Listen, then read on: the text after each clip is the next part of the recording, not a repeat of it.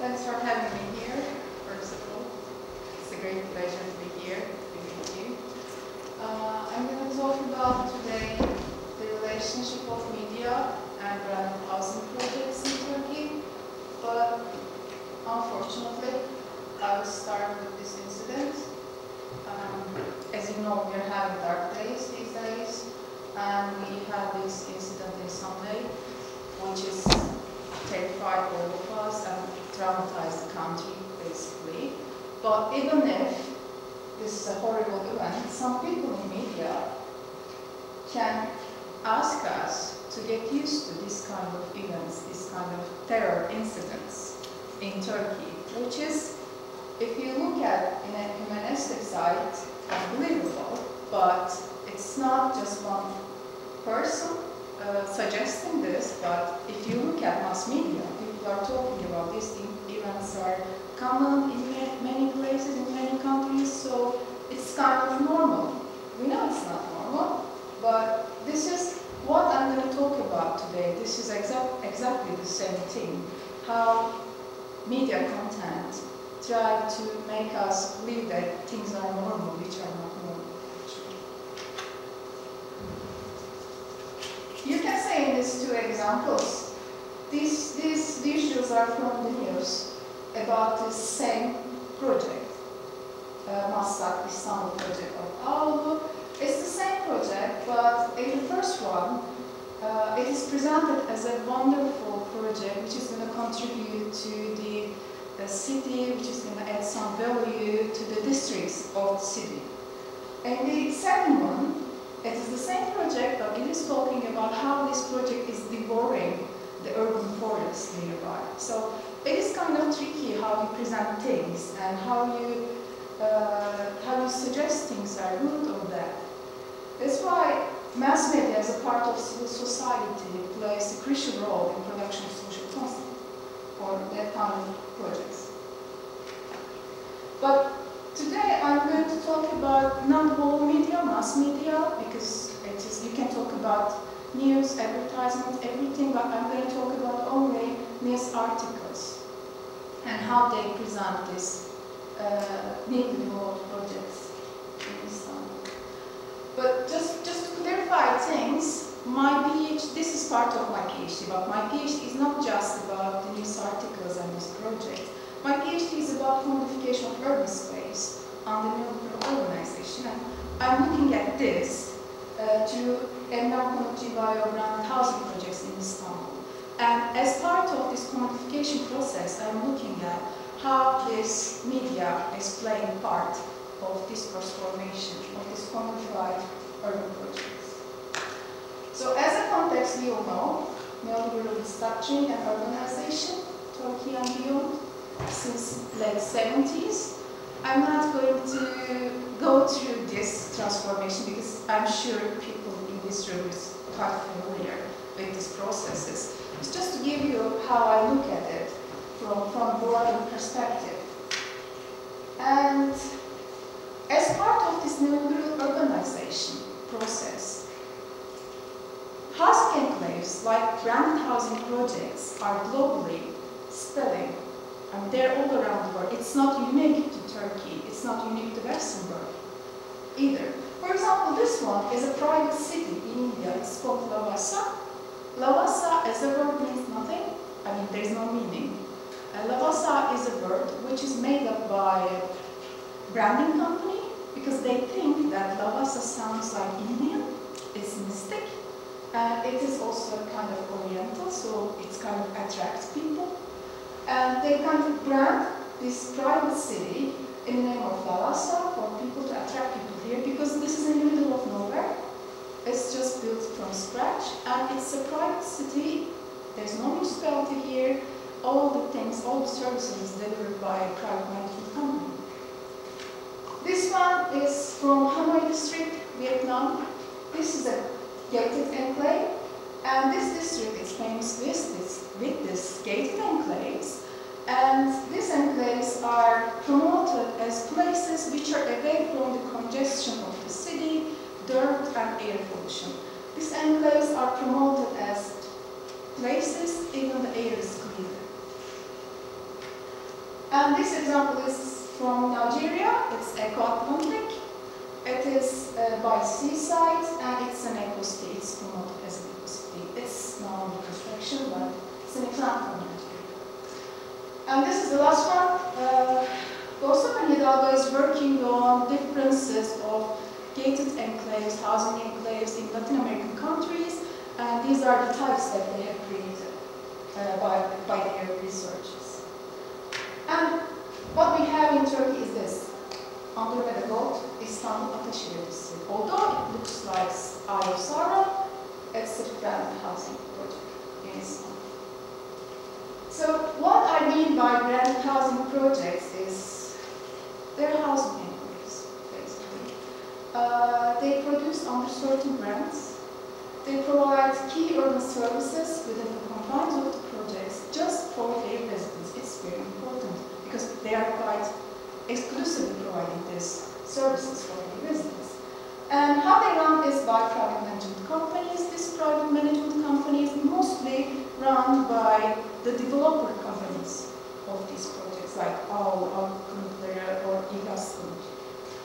And the term branded housing project is not coming from or it's not a product coming from my research, but it's coming from data knowledge and media coverage. So they call themselves as branded housing projects. And they are widely advertised and covered by media uh, widely. So uh, this is more about my methodology. Uh, this research that I'm going to talk about, the findings and some results about it, is based on 181 news articles. And these articles are from four most highly circulated newspapers. And for six projects, also I widened a little bit this sample with the uh, Institute of French Institute of Anatolian Studies archive from this uh, newspaper clippings for, for a wider project uh, sample. And I applied two methods. The first one is Kumar's dominance resistance model, the other one is discourse analysis. So a little bit about dominance resistance model first. Uh, this model is based on Gramsci's theory of hegemony, and it's about uh, it examines basically ways of mechanisms of dominance and mechanisms of resistance in creating news content. So basically how she created these models, she, she's saying it, uh, the process of content production is a struggle between hegemony and counter-hegemony, and uh, she's talking about mechanisms of dominance through the creation of news content. And I mean, the creation of this model is important because what Deepa Kumar looks at the, uh, the process of UPS strike and how it is taking place in mass media. In the first place, mass media was quite against the strike and framing the strike as something really bad, something damaging for ordinary people. In the middle of strike, mass media start to uh, create content in favor of the strike and seeing uh, workers on strike as like normal people who are just trying to uh, get their right, which, which are not kind of getting from, the, from UPS. And after a while, mass media content turns again back to the uh, first place and talking about how this strike is damaging people's life. So what Deepa Kumar was analyzing is that there is mechanisms of dominance and resistance. The point that people's, uh, ordinary people start to support the strike, mass media kind of turn to a supportive role. So struggle, the, the idea of this model, struggle can appropriate, infiltrate mass media for a while, but this is not consistent because there are mechanisms of dominance as well. Anyway, uh, my point is not that, my point is mechanisms of dominance, and I'm looking at how uh, my adoption of Kumar's model is how news, uh, news are produced, whose views are presented in the news, and uh, how the news are collected. Because why it is important? Because it's usually, if the news collection method is event-based, then what we have seen is journalists go there and uh, it is usually a launch event or a party or that kind of thing and they got the ready-made content and they publish it. So it is kind of replacement of investigative journalism and use of ready-made contents. That's why it's important. I'm not gonna use this graphics and I'm not gonna show you this kind of graphics, but bear with me for a couple of slides. Uh, this is uh, this is the result of my analysis. Basically, these are the news references and sources in the news content. And as you can see here, one third of the news articles there is not even a source mentioned, which means that this news content is coming from either PR departments or public releases. So this news means that this news content is coming directly from the actors of the project. And if there is a reference, you can see mostly it is the CEO of the developer, which means all, or company director of the developer, which means, which may mean, or MWP or general uh, director, which means Erdogan Bayraktar for that period of time. So you can see here, most of the news are the views of the developers, views of the actors, and I'm going to talk about the content later on, how they frame the news, but this is how the content is And if we look at it, as I said, one third of the news, there is no reference. And this, this is about news quality. If you look at it, uh, half of the news has just one reference, and this reference is, again, the CEO of the developer. Basically, they are talking about how the CEO of the developer is seeing the project. And uh, I'm not going to go through all of it, but you can see here, most of, we don't know most of the news, how it is collected, basically, which also addresses the it is coming from either PR department or a public release from the institution, and we don't know the methods mostly. And if there is there is a method mentioned, it would be either meeting attendance or interview. Sometimes they mention the release itself. So. Uh, from, uh, this part, uh, this part was about how the news was collected, and from now on, I'm going to talk about the content itself. If we look at the content itself, we see seven themes coming from this uh, news content. As branded housing, superlatives, uh, gain benefit, home ownership, speed of the development, I will talk about later, services, facility, and economic development. I'm going to go through one by one quickly and then hopefully we'll have a discussion about that. And in the news content, it's striking to see how they adapt the consumer commodity strategies while doing that, while presenting the branded housing projects. For example, in one news, it's clearly said that we give a guarantee to the houses just like a fridge. So it's quite clear that they see the product as a commodity. And and they're kind of proud of it, how they uh, supply this uh, project as a commodity. And they themselves as branded housing projects, as I said. It is not something that I define or someone, but they said we are branded housing projects. Because they associate being branded with quality and luxury housing. So for them, it's really good to be a branded housing because it is quality housing and it is kind of luxury. And they frame the project as ideal living environment because they provide quality.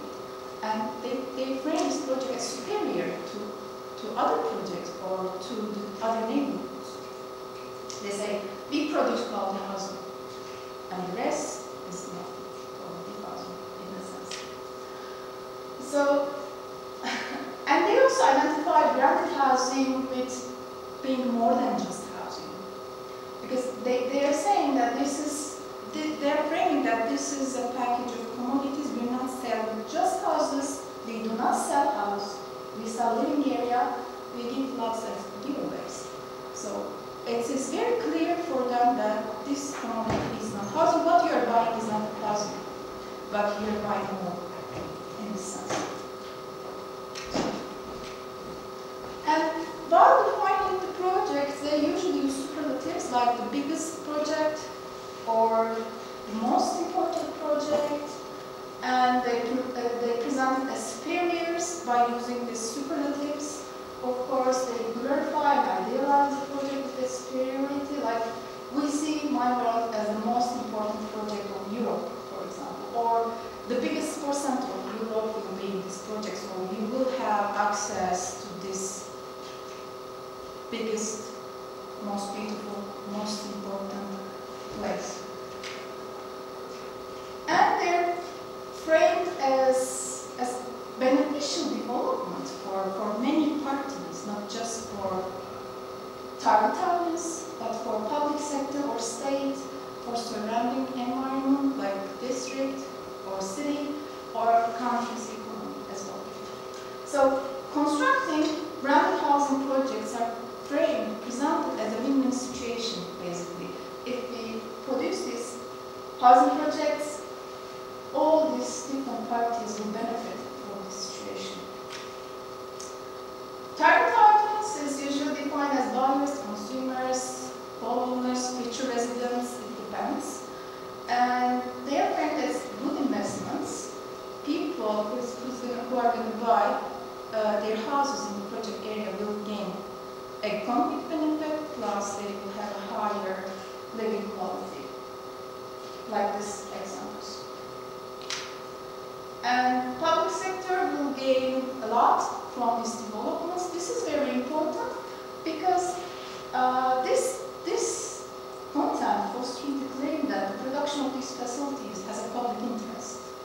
They are not serving certain groups because these projects are produced for high middle incomes. But this uh, is framing this project as a, uh, as a public benefit and saying that state will gain a lot of profit from these projects and then they, they can invest in project for, for poor people, basically. That's why they use Toki and Robin Hood discourse, big Robin Hood and poor become homeowners. And this is, this is one of the titles of the news, for example. So do not object these projects, even if we are building this, the uh, open spaces, that can be parks, because this is good for you. And these projects are doing good for surrounding environment as well. They are adding value to the districts. They are adding uh, value even to the city itself. Like such successful big projects play a great role in the urban culture. For example, we don't know the relationship between these two, but this is play. And they are very good for countries' economy because uh, because of because they are positive inputs, they are creating jobs, etc. They are creating values. But this is building the profit orientedness of the projects here. I mean, this is this is building all these mechanisms behind the projects. And they also use this charitable discourse a lot. That this development companies like Ağaoğlu is doing good for people of this country because they are creating values and they are creating profits for the state. You can see these examples. And the other one is home ownership. As you know, home ownership is quite important in Turkey culturally. And becoming homeowners is presented very desirable situation. And it is even framed as being renter is a very, very bad situation for you. So you should be a homeowner as soon as possible. And these projects are helping you to be a homeowners, basically. It is, it is, you can see in these examples as well, a sidewalk kitchen front supply. And speed of construction and sales are quite important topics in this content because speed of construction basically presents the success of the company and early submissions are kind of presenting, uh, so submission is kind of presented as, as a gain benefit of the buyers because they're going to collect their profits as soon as possible. And also speed of sale is presented as a way of uh, claiming that the project is so successful, demand is so high in the project, so you should buy your house as soon as possible there. Of course, and facilities, as I mentioned, it's not just houses, but it is the living area they are selling, it is the access to this service facilities. So it's really important. It's a part of the quantity package, and they present it as a list in the news content, basically. You will get this when you buy your. As I mentioned briefly, economic development is important. It could be either individual investment or capital accumulation for state, or it is good for countries' economic development, especially in crisis. Because they're presenting this construction, this, this part of the construction sector, of course, and they're presenting construction sector as a way of uh, handling crisis. crisis. So I'm rounding up, basically. So what we have told is news content is actually based on project after review. And lack of critical views is very important. Ju- There was, John, there was just one news uh, criticizing the project and projects, and it is it was about um, opening a, uh, former military areas for project-based developments, and it was from Zone. And this course in the news articles frames project as superior places, places which are in favor of the residents for sure, and projects as profitable uh, investments, and they're looking good for the economy. Therefore, you shouldn't object these kind of project-based developments because they are doing good for many parts of the society. So this, this content plays an important role in production of social consent projects. I'm going to stop there, but if you are interested in, there are two publications coming about this. Um, one is it's going to be on the European Journal of Turkish Studies. It's basically about territory production. And the second one is going to be a special issue. It is discussing this content with the transformation of Tokyo energy. It's coming this year.